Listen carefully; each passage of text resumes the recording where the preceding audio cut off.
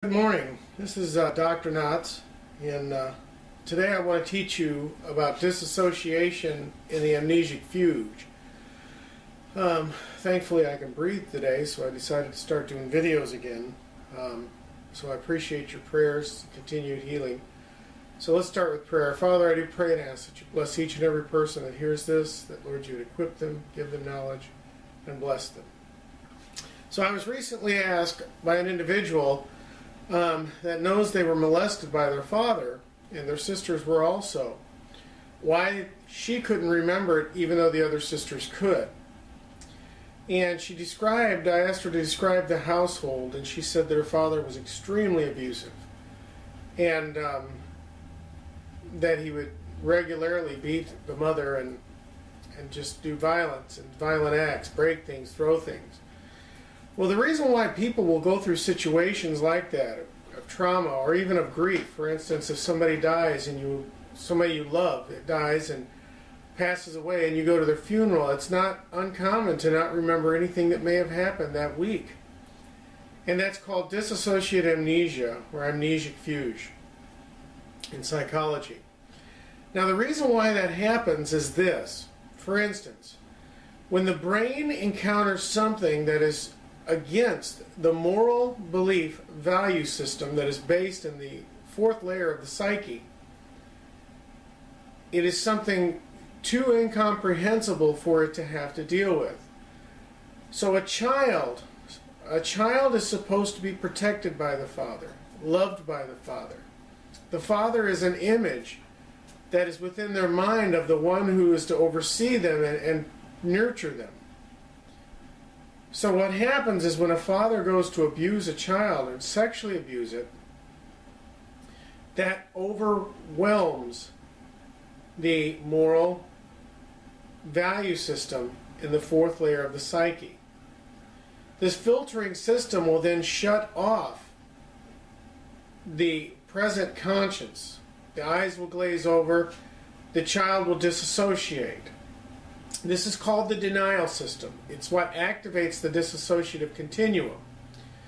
You see, when something too horrific happens that goes against a person's beliefs, the mind will deny it happening. That's why a mother, a child can be abused, and the mother um, will simply disassociate. She'll hum to herself or go clean dishes. And to her, it's not happening because she's in denial. Denial says, you know, this can't be happening because this is the person supposed to love me and protect me. Why would he want to physically hurt me or sexually abuse me? Same thing with a mother and a son or any parent with a child. So what happens is the denial system kicks in because the brain simply does not want to acknowledge that what it believes is being challenged. It believes that the parent is the one that loves it, and provides for it, and cares for it, and will protect it in all situations.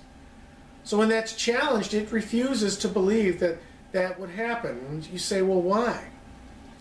Because the very basis of life for the individual consists on that belief system. The child is unable to care for itself. It can't provide a house, uh, food, clothing, warmth, utilities, transportation. It doesn't even know how to do that. It is dependent upon the parent. And being such, the brain will allow it to happen, the sexual abuse or the physical abuse, because it needs to live more than anything. So it will activate what's called a denial mechanism. It's the first part of a self-defense construct mechanism. It's the denial.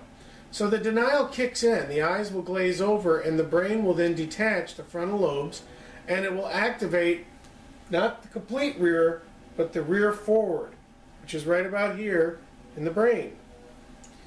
And at that point, what will happen is a shell alter will take over. It'll exist in the mind while the father does his abuse or the mother. And when that is over, the child will go through a series of uh, flushes in the brain, neurological, phenological flushes, you know, where the potassium and calcium fluctuates and it washes the memory, and what it creates is called a dissociate amnesia or a fugue amnesia. While the person was out, everything that happens will be erased from the memory.